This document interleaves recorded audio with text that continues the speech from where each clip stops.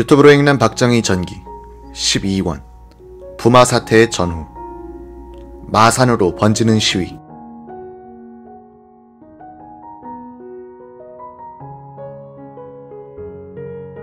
김재규는 10월 18일 새벽 2시쯤 부산의 계엄사령부에 나타났다. 야간 비행으로 급히 내려온 것이었다. 김재규는 박흥주 등 참모들을 데리고 왔다.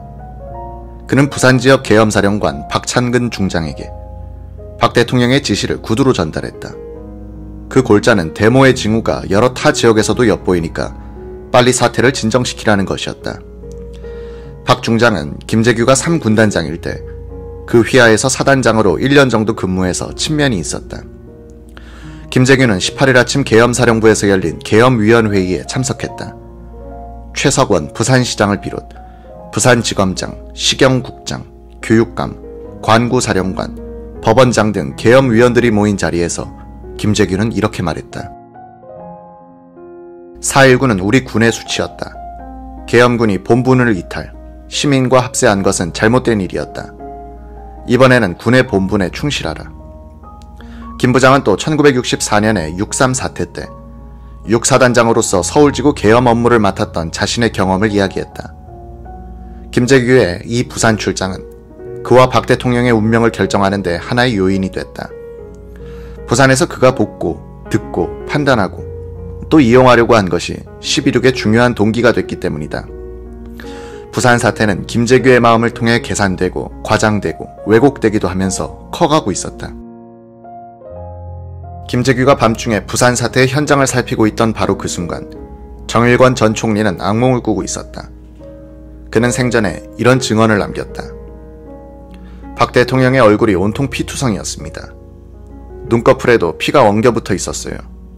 그런 얼굴로 대통령은 정형이라고 부르며 저를 껴안는 게 아니겠습니까? 그러면서 이놈들, 이놈들 하며 쓰러졌습니다. 이 순간 나는 깨어났는데 집사람을 깨워 꿈 이야기를 했더니 아내는 꿈에 피를 보면 좋은 일이 생긴다고 저를 안심시킵니다. 전에도 큰 사건 전에 들어맞는 꿈을 몇 번 꾼 적이 있어 불안을 떨쳐버릴 수 없었습니다. 부산의 비상계엄령이 선포되면서 계엄사령관으로 임명된 군수사령관 박창근 중장. 발포 문제로 고민하고 있었다. 간밤에 들이닥친 김재규는 사태를 빨리 수습하고 연행자들을 서둘러 선별하라는 박정희 대통령의 지침만 전달했을 뿐 발포 문제에 대해서는 이런 반구 언급이 없었다. 박 사령관은 경찰이 시위군 중에 밀려서 군이 나서게 된 것이니까 군까지 밀려서는 안 된다는 생각을 했으나 발포를 최악의 순간까지 억제하는 지침을 휘하 부대에 내렸다. 첫째, 사령관의 직접 명령에 의해서만 발포를 할 수 있다. 둘째, 이 직접 명령은 문서를 통해서가 아니라 직접 면담을 통해서 받아야 한다. 급박한 상황에서 전화로 발포 지시를 받아야 할 때는 먼저 사령관의 육성을 확인해야 한다. 정부는 계엄 선포 첫날 신속하게 병력을 투입했다. 18일 새벽에 서울로부터 1개 공수특전 여단이 날아왔고 아침에는 포항으로부터 1개 해병연대가 부산으로 이동했다. 부산의 현지 병력과 합쳐서 계엄군의 규모는 5,500명에 달했다.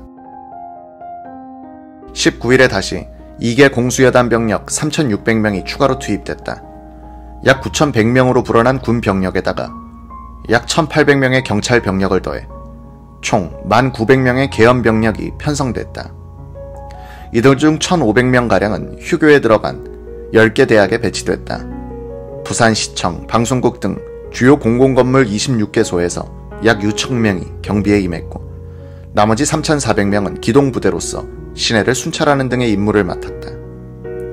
박 장군은 계엄군에게 실탄을 지급하지 말도록 지시했다. 최루탄도 소 중대장에게만 주었다. 대모대는 개머리판으로 진압토록 했다. 1개소대에 경찰관 한두 명을 배치시켰다. 현지 사정에 밝은 경찰관이 데모 군중 속에서 불량배를 지적해주면 그들을 붙잡기 위해서였다. 박 장군은 이번 데모의 원인을 파악하기 위하여 여론조사를 실시하도록 합동수사단에 명령했다. 그는 지게군에서 대학 교수까지 각계각층의 여론을 정확히 수집하도록 지시했다. 며칠 뒤 집계 분석된 여론조사의 결과에 따르면 부산 시위의 가장 큰 원인은 경제 침체에 의한 서민, 상인층의 불만으로 나타났다. 다음이 김영삼 의원 제명 뒤 야당 의원들이 낸 의원직 사퇴서에 대해서 여당 측이 선별 수리한다는 보도였다. 석유 파동에 의한 경기 침체와 김영삼 제명이 2대 요인이었다는 얘기다. 18일 오전 10시 간밤에 부산에 온 김재규는 부산대학교에 나타났다. 본관 현관에서 박기채 총장이 그를 맞았다. 김재규는 의례적인 말투로 학생들은 어떻습니까? 라고 물었다. 박 총장이 총장실로 안내하려니까 김 부장은 사실은 우리 부대가 여기 주둔하게 돼서 한번 찾아보고 싶어 왔다면서 수고하십시오 라고 말하곤 군 부대의 지휘부가 들어있는 2층으로 올라갔다. 김 부장은 침착했고 잔말이 통 없었다. 정부가 계엄령 선포 직후 전투력이 가장 뛰어난 공수단과 해병대를 긴급 투입한 것은 부산 사태를 철저하게 진압하겠다는 의지를 보여준 것이었다. 특수훈련을 받고 특수전에 쓰이도록 만들어진 공수부대는 시위자들은 물론이고 일반 시민들에게도 무차별 폭행을 가했다. 이로써 6.25 전쟁 이후 처음으로 일반인들이 군인들에 대한 악감정을 갖게 됐다. 특전사령부나 군 지휘부에서는 이 과잉 진압을 성공 사례로 평가하여 1980년 5월 18일 광주에 또 공수단을 투입했다가 유혈 사태를 부른다.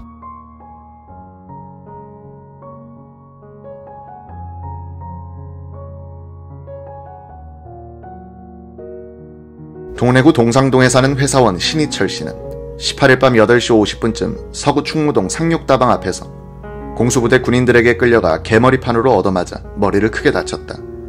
뇌 좌상과 뇌경막 손상을 당한 그는 동생신경외과에서 뇌수술까지 받았다. 부산지구 당감동에 사는 금은방 종업원인 전병진 씨는 계엄령 첫날인 10월 18일 밤 9시 30분쯤 서면 퇴학장 앞에서 택시를 먼저 잡으려고 찻길로 조금 나가서 있었다. 앞당겨진 통행금지 시간이 30분밖에 남지 않아 시민들은 서로 먼저 타려고 법석을 떨고 있었다. 이때 공수부대 한 소대 병력이 찻길을 따라 남쪽으로 행진해오고 있었다. 그들은 앞에 걸리는 사람들을 청소하듯 해버렸다. 술에 조금 취해 있었던 전병진 씨는 미처 피할 틈도 없이 당했다. 개머리판으로 머리를 몇 대나 맞았는지, 구두발로 얼마나 채였는지 알 수 없었다. 정신을 차렸을 때 그는 정차한 택시 꽁무니에서 몸을 피하고 있었다. 군인 4명이 다시 그를 끌어내 발길질과 개머리판으로 녹초를 만들었다. 그는 쓰러졌다. 군인들이 다 지나갔을 때 그는 벌떡 일어났다. 얼굴에서 피가 쏟아지고 있었다. 갑자기 머리가 핑 돌았다. 지하도를 건너서 한독병원을 찾았다. 한독병원에서는 간단한 응급치료만 해주고 자가용에 태워 당감동 한태의 신경외과로 옮겨다 주었다. 진단을 해보니 앞니빨 다섯 개가 부러졌고 오른쪽 귀 위에 머리뼈에 분쇄 골절이 생겼음이 드러났다.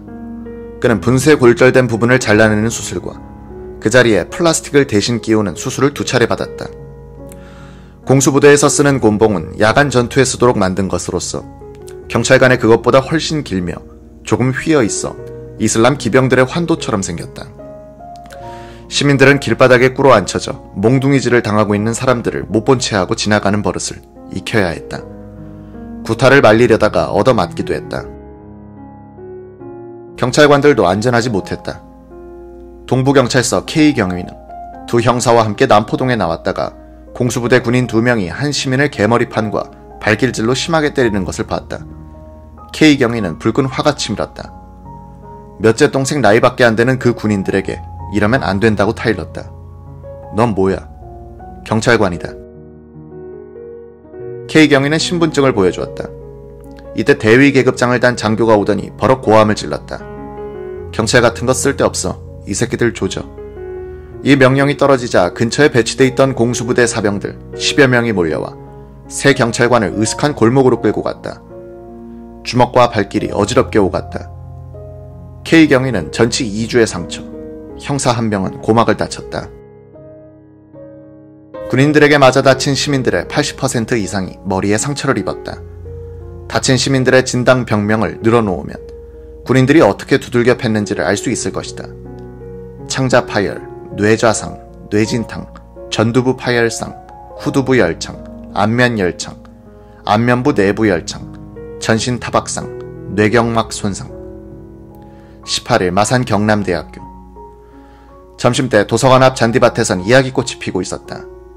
경제과 3학년엔 부산에서 통학하던 학생이 둘 있었다. 이 두 학생은 부산 데모 이야기를 하고 있었고 다른 학생들은 귀를 쫑긋하여 듣고 있었다.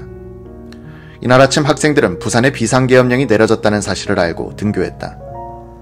학교 게시판에는 박정희 파쇼 정권 타도라고 쓰인 경문이 붙어 있었다. 술렁대는 분위기 속에서 점심시간이 끝나가고 있었는데 이때 느닷없이 교내 스피커에서 오늘은 휴강을 실시하니 학생들은 빨리 집으로 돌아가 주기 바랍니다. 라는 방송이 흘러나왔다. 학생들은 웅성웅성했다. 우리는 데모도 안 했는데. 학생들은 납득할 수 없는 휴강령에 불만을 토로하기 시작했다. 부산 데모가 경찰의 개입으로 확대된 것과 똑같이 마산 데모에 기름을 부은 것은 이 휴강 조처였다. 귀가하는 학생들은 저절로 길목인 도서관 앞으로 모여들었다. 군중이 되면 용기도 전염된다. 누가 나서주기를 바라는 분위기가 됐다. 말하자면 이나물질에 기름은 끼얹었는데 성냥을 그어댈 사람이 아직 안 나타난 상황이었다. 부산이나 마산 사태의 발단은 모두 우발적인 것 같아 보이지만 자세히 들여다보면 인과관계가 분명하다. 부산에서 정광민이 한 역할을 마산에서 한 것이 국제개발학과 2학년 정인권이었다. 두 정군은 울컥하는 충동적 심정으로 성냥을 그어댄 것이 아니라 오랜 고민과 결심의 결과에 따라 행동한 것이었다. 정인권은 며칠 전부터 7명의 학생들과 데모 계획을 짜놓고 있었다. 중간고사가 시작되는 10월 21일을 D-Day로 잡고 있었다. 휴업이 길어지면 D-Day를 지킬 수 없게 된다. 당황한 정인권은 대책을 의논하려고 동료들을 찾아 우왕좌왕하다가 스스로 결단을 내렸다. 그는 학생들 앞으로 나섰다. 부산 학생들과 같이 싸우자. 3.15 정신을 되살리자. 부모들이 피땀 흘려 공부시킨 것이 이럴 때 바보처럼 가만히 있으라고 한 줄 아느냐. 정군의 일장 연설은 학생들을 움직이기에 충분했다. 그는 뇌관을 터뜨렸고 그 다음부터는 학생과 시민의 자체 추진력에 의해 저절로 굴러갈 것이었다. 그 뒤로는 정군이 다시 지도자로 나설 필요조차 없었다. 마산 시위도 부산과 거의 같은 생리로 진행됐다. 학생들은 어깨 동무를 하고 구호를 외치며 학교 바깥으로 나가려 했다. 정문 앞을 경찰이 막자 3.15 이거탑에서 만나자 불종거리에서 만나자고 속삭였다. 일부는 담을 뛰어넘어 일부는 집으로 가는 채 하다가 정문을 통해 노동자와 시민들이 기다리는 시내로 빠져나가기 시작했다.